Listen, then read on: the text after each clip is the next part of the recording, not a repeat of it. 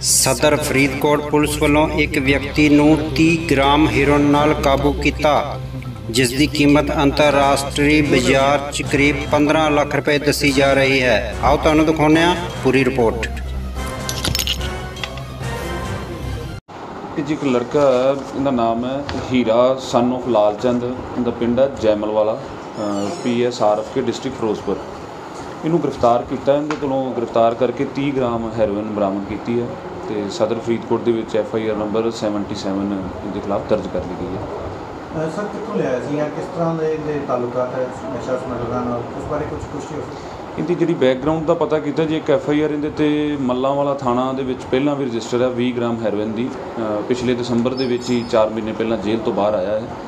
ਤੇ ਦੁਬਾਰਾ ਇਸ ਕੰਮ ਦੇ ਵਿੱਚ ਲਿਪਟ ਸੀਗਾ ਤੇ ਅਸੀਂ ਇਹਨੂੰ ਅ, ਪਿਪਲੀ ਪਿੰਡ ਤੋਂ ਗ੍ਰਿਫਤਾਰ ਕੀਤਾ ਹੈਗਾ ਜੀ। ਇਹ ਜੇਲ੍ਹ ਤੋਂ ਬਾਅਦ ਜਿਹੜਾ ਫੇਰ ਹੋ ਕੇ ਆਇਆ ਜਾਂ ਅਹ, ਨਹੀਂ ਜ਼ਮਾਨਤ ਤੇ ਹੈ ਜੀ, ਜ਼ਮਾਨਤ ਤੇ ਹੈ। ਅਸੀਂ ਇਹਨੂੰ ਕੱਲ ਮਾਨਯੋਗ ਅਦਾਲਤ 'ਚ ਪੇਸ਼ ਕਰਕੇ ਉਹਦਾ ਇੱਕ ਦਿਨ ਦਾ ਰਿਮਾਂਡ ਹਾਸਲ ਕੀਤਾ ਸੀਗਾ। ਅੱਜ ਫਿਰ ਅਦਾਲਤ 'ਚ ਪੇਸ਼ ਕਰ ਰਹੇ ਹਾਂ। ਅ, ਇਹਦੇ ਪ- ਪਿਛਲੇ ਹੈਂਡਲਰਸ ਦਾ ਪਤਾ ਲਗਾ ਰਹੇ ਹੈਗੇ ਆ। ਕਰਕੇ ਉਹਨਾਂ ਨੂੰ ਵੀ ਨੋਮੀਨੇਟ ਕਰਾਂਗੇ ਮੁਕੱਦਮੇ 'ਚ। ਅਹ, ਜਿਹੜਾ ਫੜਿਆ ਗਿਆ ਦੀ ਗੱਲ ਕਰ ਰਹੇ ਹੋ ਅਪਰੋਕਸੀਮੇਟਲੀ ਉਹਦੀ ਕੀਮਤ ਕਿੰਨੀ ਹੋ ਸਕਦੀ ਹੈ ਅੰਤਰਰਾਸ਼ਟਰੀ ਬਾਜ਼ਾਰ 'ਚ? ਅੰਤਰਰਾਸ਼ਟਰੀ ਬਾਜ਼ਾਰ ਦੇ ਵਿੱਚ ਤਾਂ ਜੀ ਦੇਖੋ ਅ, ਜਿੱਦਾਂ 5 ਕਰੋੜ ਦੇ ਹਿਸਾਬ ਨਾਲ ਆਪਾਂ ਇਹਨਾਂ ਨੂੰ 30 ਗ੍ਰਾਮ ਦੇ 15-16 ਲੱਖ ਦੇ ਆਸ-ਪਾਸ ਦੀ ਕੀਮਤ ਬਣਦੀ ਹੈਗੀ ਹੈ ਇਹਦੀ ਹਾਲ ਦੀ ਘੜੀ ਇਹ ਨਹੀਂ ਮੰਨ ਰਿਹਾ ਹੈਗਾ। ਇਹ ਕਹਿ ਰਿਹਾ ਕਿ ਸਾਡੇ ਉੱਥੇ ਬਾਰਡਰ ਤੇ ਅਣਪਛਾਤੇ ਵਿਅਕਤੀ ਆਉਂਦੇ ਆ ਸਾਨੂੰ ਦੇ ਜਾਂਦੇ ਆ।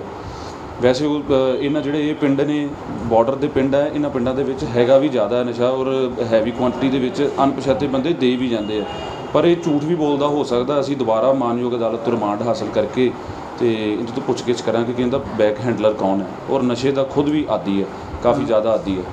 30 ਗ੍ਰਾਮ ਦਾ ਕਾਫੀ ਅਮਾਉਂਟ ਹੈਗੀ ਆ ਇੱਥੇ ਗਾਹਕਾਂ ਦੀ ਭਾਲ ਚ ਆਇਆ। ਇਹਦੇ ਅਗਲੇ ਬੰਦਿਆਂ ਦੇ ਕਿਹਨਾਂ ਨੂੰ ਇਹ ਡਿਲੀਵਰ ਕਰ ਰਿਹਾ ਸੀਗਾ, ਉਹਦੇ ਬਾਰੇ ਵੀ ਨਹੀਂ ਦੱਸ ਰਿਹਾ। ਖੁਦ ਨਸ਼ੇ ਦਾ ਜ਼ਿਆਦਾ ਆਦੀ ਹੈ ਔਰ ਉਹਦੀ ਜਿਹੜੀ ਸਿਹਤ ਵੀ ਹੈ, ਉਹਦੀ ਵਜ੍ਹਾ ਕਰਕੇ ਥੋੜੀ ਜਿਹੀ ਢਿੱਲੀ ਹੈ।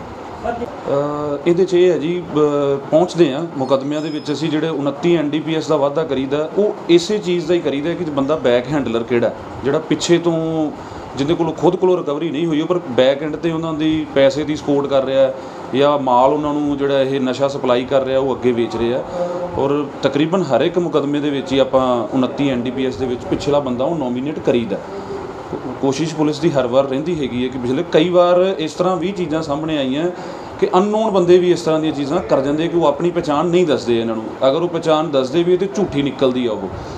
ਆਪਣਾ ਉਹ ਚਿਹਰਾ ਨਹੀਂ ਦਿਖਾਉਂਦੇ ਆ ਜਾਂ ਉਸ ਜਗ੍ਹਾ ਦੇ ਉੱਪਰ ਰੱਖ ਕੇ ਮਨੀ ਦੀ ਟਰਾਂਸਫਰ ਜਿਹੜੀ ਆ ਉਹ ਹੋਰ ਢੰਗ ਨਾਲ ਹੋ ਜਾਂਦੀ ਹੈ ਅਲੱਗ-ਅਲੱਗ ਮੋਡਸ ਆਪਰੈਂਡੀ ਦੇ ਨਾਲ ਜਿਹੜੇ ਨਸ਼ਾ ਵੇਚਦੇ ਹੈਗੇ ਆ।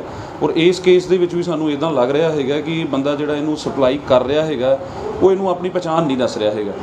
ਬਾਕੀ ਇਹ ਝੂਠ ਵੀ ਬੋਲਦਾ ਹੋ ਸਕਦਾ। ਅਸੀਂ ਹੋਰ ਸਖਤੀ ਨਾਲ ਪੁੱਛਗਿੱਛ ਕਰਾਂਗੇ, ਮਾਨਯੋਗ ਅਦਾਲਤ ਤੋਂ ਫਿਰ ਰਿਮਾਂਡ ਦੀ ਇੱਕ ਕੋਸ਼ਿਸ਼ ਕਰਾਂਗੇ।